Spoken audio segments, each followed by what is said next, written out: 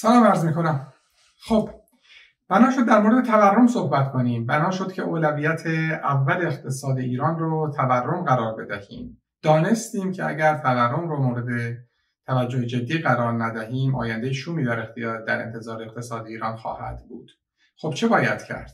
ببینید نخستین راهکار برای یک بحرانی که مزمن شده و ادامه دار بوده این هست که بدانیم که راهکارهای گذشته شکست خورده. بدانیم که احتمالا یک نوع طرز تفکری رو ما در پیش گرفتیم. این طرز تفکر موجب تورم شده و احتمالا ما این نوع طرز تفکر رو این نوع راهکارها رو احتمالا راهکار تورم می‌دانستیم. در حالی که این نوع راهکارها اتفاقا بر مشکل تورم افزوده است. و همین راهکارها باعث شده که چون ما اینها رو راه حل می‌دانستیم و درمان می‌دانستیم موجب شده که مشکل تورم به بیش از پنجاه سال ادامه پیدا کنه. ببینید تورم پنجاه ساله در طول تاریخ بشریت بی سابقه است. و عجیبتر این که از دو سال پیش که ما تاریخ در واقع رکورد پنجاه ساله رو شکستیم از دو سال پیش وارد شرایط تورمی جدیدتری شدیم. که عرض کردم خدمتتون در واقع نرخ تورم از کریدور 40 50 سال خودش خارج شده.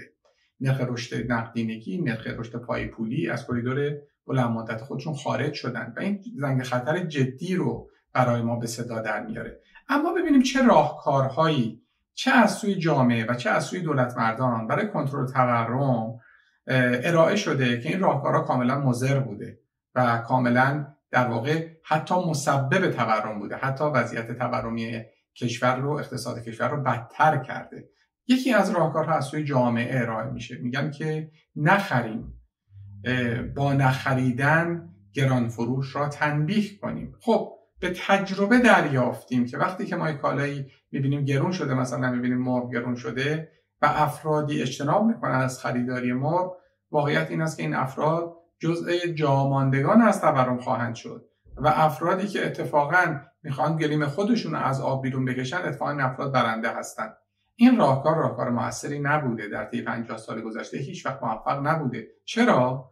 برای اینکه دلیل تورم سبب تورم چیز دیگری است. با نخریدن مشکل تورم حل نخواهد شد. تورم پدیده پولی است که در آینده خدمت شما اشاره خواهم کرد. ولی تنها پدیده پولی نیست. موارد متعدد دیگری هم هست پیچیدگی های هم وجود داره که اونها رو هم خدمت شما عرض خواهم کرد. از طرف دولت مردانم که مشخصه هر همیشه سیاست من همیشه سیاست در واقع یک مقداری سیاست تهدید متاسفانه در پیش گرفته شده. خب در اینجا همین هست. وقتی که ما با تورم مواجه هستیم اقتصاد دستوری حاکم میشه تعذیرات حاکم میشه قیمت گذاری دولتی حاکم میشه. و پنجاه سال است که این سیاست ها رو دولت اعمال کرده یعنی از تفاوت سیاست کنترل تورم بین هویدا و دولت انقلابی فعلی مطلقا ما نمی‌بینیم. دقیقا همون طرز تفکر امروز هم حاکم هست. شما وزارت سمت رو ببینید سازمان حمایت از تولید کننده و مصرف کننده رو ببینید. امیدوارم یک روزی اگر قرار هست این سازمان باقی بماند به جای نام سازمان حمایت از تولید کننده و مصرف کننده نام دیگری بگذارن. مثلا سازمان حمایت از رانت و تخریب اقتصاد ملی. شاید اصلا بشه برای وزارت سمت یک نام دیگری رو در نظر گرفت. وزارت افزایش دهنده تورم.